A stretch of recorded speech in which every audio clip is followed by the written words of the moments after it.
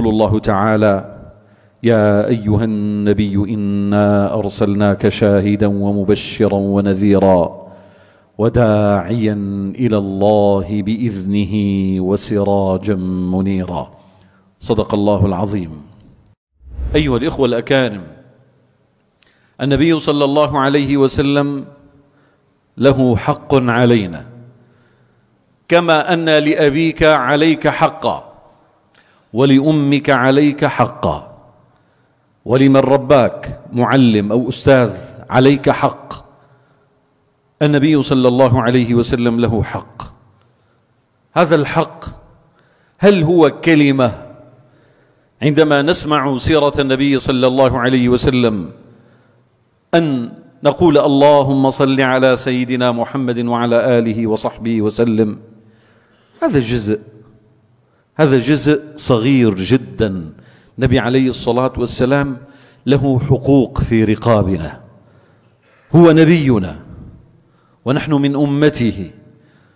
هو الذي وقف بين يدي ربه ساجدا وهو يقول يا رب أمتي يا رب أمتي يا رب أمتي.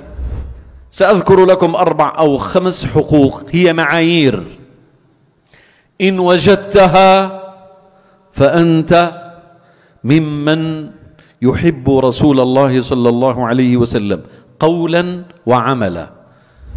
هذه المعايير أيها الإخوة الكرام هي الشوق إلى لقائه. أول وحده اثنين أن نتخلق بأخلاقه صلى الله عليه وسلم. أخلاق النبي عليه الصلاة والسلام أيها الإخوة الكرام هي التي جعلت أعتى كافر وأكثر منافق. جعلته مؤمنا جعلت عمر الذي كان يحمل السيف ليقتل رسول الله.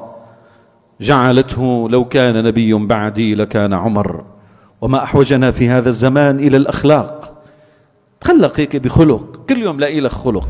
الأمر الثالث أيها الإخوة الكرام طاعة أمره. لما بتسمع حديث من أحاديث النبي على المنبر وعلى كرسي التدريس إنه النبي هيك هيك قال معناتها أنت بتحب النبي. وإن تطيعوه تهتدوا. الأمر الرابع هو أن نقرأ سيرته صلى الله عليه وسلم. يلي ما له قارئ سيرة النبي عليه الصلاة والسلام ما يعرف شيء من الحياة.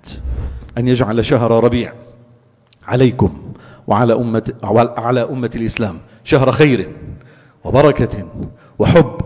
أتمنى أنه هالموالد اللي عم تصير أنه يكون فيها هيك إعادة تأهيل.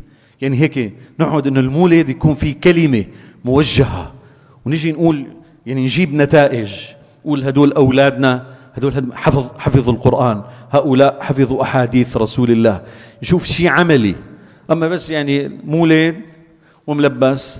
والله أنا يعني بتذكر أنه يعني وعيت على الدنيا وأنا ابن ثلاث سنين وهي هي. لكن نريد أن نجمع مع هذا الحب الظاهر حب باطن. أقول قولي هذا وأستغفر الله.